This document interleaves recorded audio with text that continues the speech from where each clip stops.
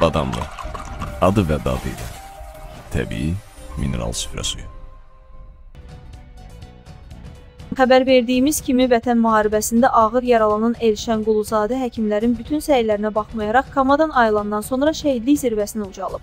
Bir az xəbər verir ki, 27 gün komada qaldıqdan sonra ayılan 22 yaşlı Çavuş Quluzadə Elşənin son videosu yayılıb. Onun ayılma anını əks etdirən görüntülər sosial şəbəkələrdə yer alıb. Videoda şəhidimiz hər şey yaxşı olacaq, elə belə şeydir, deyib. Qeyd edək ki, şəhidin vida mərasimində Daxili İşlər Naziri general-polkovnik Vilayət Eyvazov və nazir müavinləri də iştirak ediblər. Allah rəhmət eləsin.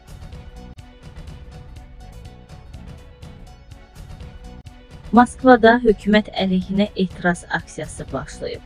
Yenyavaz.com TV rayona istinadla xəbər verir ki, Moskvada müxalifətçi Aleksey Navalnın həbsinə görə etiraz aksiyası başlayıb. Minlərlə etirazçı Moskvanın mərkəzində yerləşən Pushkin meydanına toplaşıb. Rusiya polisi etirazçılara müdaxilə edir. Qeyd edək ki, Aleksey Navalny Almaniyada müalicə olunduqdan sonra Moskvaya qayıdarkən hava limanında həbs edilmişdi.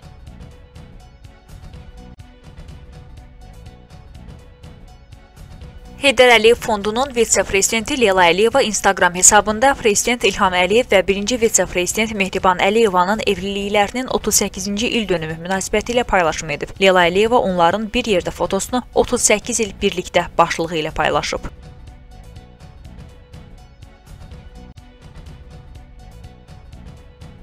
Azərbaycan sərhədçiləri Zəngilan rayonunun Qazancı kəndi yaxınlığından keçən yolun kənarına üzərində Azərbaycana xoş gəlmisiniz yazısının yer aldığı yeni lövhə quraşdırıblar. Yenyavaz.com xəbər verir ki, bu məlumatı Infotika 24 Rus saytı yayıb. Bildirilir ki, Ermənistanın Qafan rayonunun bəzi kəndlərinin sakinləri rayon mərkəzinə gedən zaman bu lövhənin qarşısından keçməli olurlar. Məlumat üçün bildirək ki, Qazancı kəndi yaxınlığından keçən avtomobil yol Ermənistanın əsas magistral yollarından biridir. İrandan Ermənistanın paytaxtına gedən avtomobillərdə bu yoldan istifadə edirlər.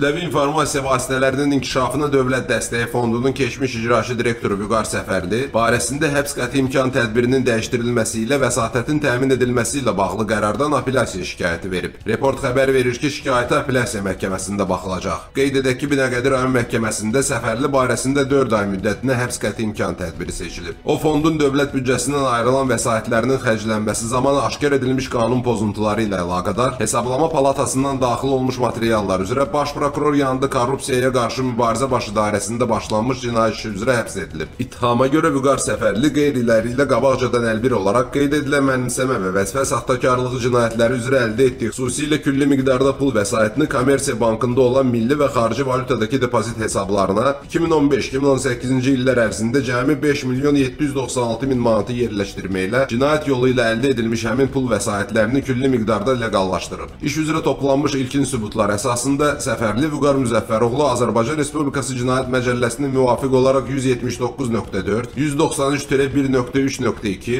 308.2, 308-2.4 və 313, Məmmədov Nadir Məhərrəmoğlu isə Cinayət Məcəlləsinin 179.4, 308.2 və 313-cü maddələrinə əsasən təqsirləndirilən şəxs qismində cəlb edilib.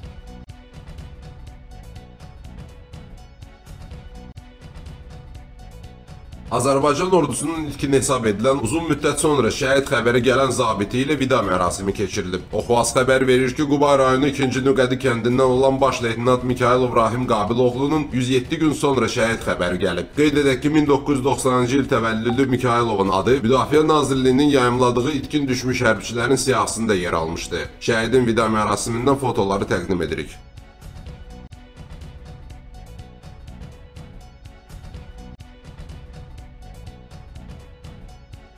Ermənistanda Rusiya hərbi bazasında xidmət edən əskərin yanmış cəsədi tapılıb. Bu barədə Şamşiyan.com xəbər verir. Bildirilir ki, Gümrüdə qeydə alınan hadisəyə səbəb qəza olub. Belə ki, yanvarın 23-də 25 yaşlı Rusiya vətəndaşı Leonid Xomyakovun idarə etdiyi Opel markalı avtomobillə 83 yaşlı Gümrü sakini Serj Akapyana məxsus Kamazın qoşqusunun arxasına çırpılıb. Qəza nəticəsində Opeldə yanğın başlayıb. Xilasedicilər avtomobildə sürücünün yanmış cəsədini aşkarlayıblar. Qəza ilə əlaqədar ehtiyatsızlıqdan insan ölümü ilə nəticələnən yol nəqliyyat hadisəsi maddəsi ilə cinayət işi başlanılıb. Mənbənin verdiyi məlumata görə Xəməkov Gümrüdəki Rusiya hərbi bazasında xidmət edib.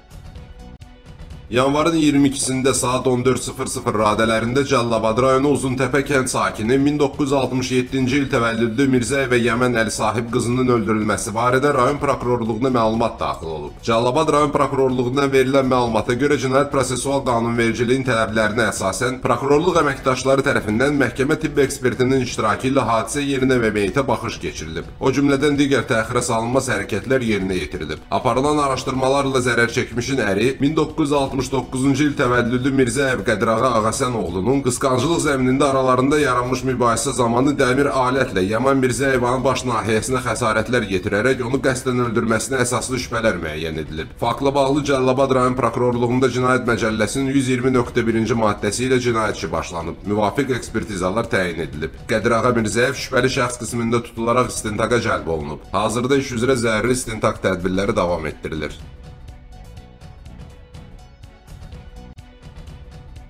Xarici İşlər Nazirliyi Qarabağa qanunsuz səfər edən şəxslərin siyahısını yeniləyib. Oxuazın məlumatına əsasən siyahıya ümumilikdə 1040 nəfər daxildir. Siyahıya nəzər salsaq görərik ki, 2020-ci ilin sentyabrın 27-sindən etibarən Azərbaycan ordusunun işğalda olan torpaqları azad etmək üçün keçirdiyi əks-hücum əməliyyatları dövründə və Vətən müharibəsindən sonrakı vaxtlarda Qarabağa qanunsuz səfərlər baş tutub. Müharibə dövründə Qarabağa səfər edənlərin çoxu xarici ölkələrin jurnalistləridir. 2020-ci ilin noyabrında Ermənistanın kapitulyasiyaya imza atması atmasından sonra isə Qarabağı qanunsuz səfər edənlərin əksəriyyəti siyasətçilərdir. Ümumilikdə 2020-ci ildə Qarabağa 40 qanunsuz səfər baş tutub. Qeyd edək ki, Azərbaycan dövləti dəfələrlə bəyan edib ki, Qarabağa, o cümlədən Rusiya sülh məramlarının nəzarət etdiyi ərazilərə bütün səfərlər rəsmi Bakının razılığı ilə həyata keçirilməlidir.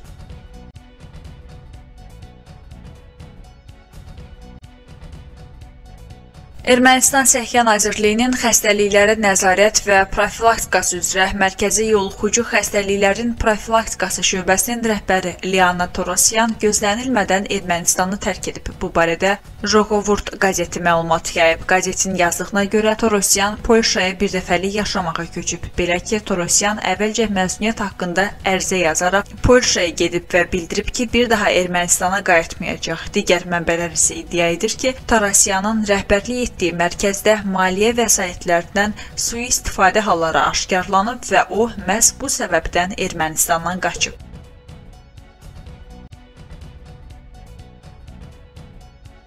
Masallı rayon mərkəzi xəstəxanasının baş həkimi Cəlil Nəzərov və baş mühasibi Sətullah Məmmədov baş prokurorluq yanında korrupsiya qarşı mübarizə idarəsinin əməkdaşları tərəfindən keçirilən əməliyyat nəticəsində saxlanılıblar. Baş prokurorluğun mətbuat xidmətindən oxuaza bildirilib ki, bu barədə ictimaiyyətə daha sonra rəsmi məlumat veriləcək.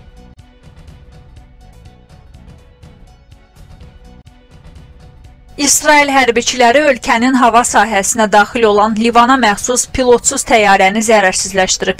Novosti agentliyi xəbər verir ki, bu barədə İsrail ordusunun mətbuat xidməti məlumat yayıb. Rəsmi məlumatda qeyd olunur ki, İsrail ordusu ölkənin suverenliyini pozma cəhdinin qarşısını almaq istiqamətində fəaliyyətini davam etdirir. İnsidentin təfərrüatları barədə əlavə məlumat verilmir.